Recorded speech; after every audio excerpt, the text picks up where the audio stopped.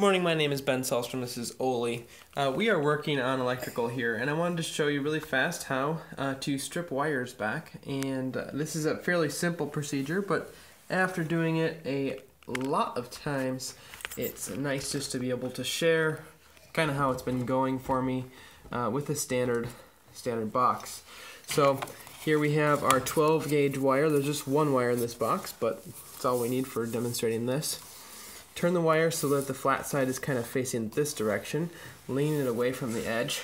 And then take a utility knife. And there's also a uh, cable ripper tool that can be used for this. But I prefer just a simple utility knife. This one right here. I'll link to this exact one in the description if I can. Uh, but this works perfectly.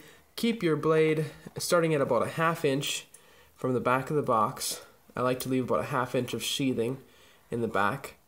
And make sure you keep your blade going right down the center of the wire because there's a bare copper wire there that you're really not going to damage.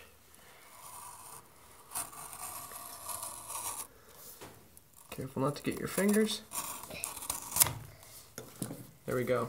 Now I much prefer to pull the cable into the box uh, before uh, before I strip it back. Some guys will strip the wire back before they pull it through. Now, I just like to do it this way because then you will end up with uh, a more precise amount stripped back in the box. It just works well. It's easier. So there you go. Take your knife, cut it off just like you just saw, and you're good to go. Say Thanks for watching. Thanks for watching. Please subscribe to the channel and uh, rate this video up if it helped you. Say bye.